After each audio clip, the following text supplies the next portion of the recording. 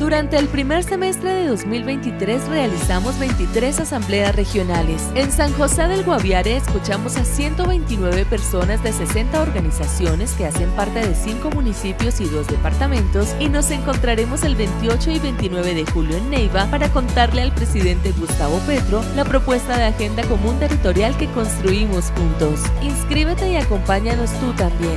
Más información en Unidad Solidaria, construyendo territorios solidarios.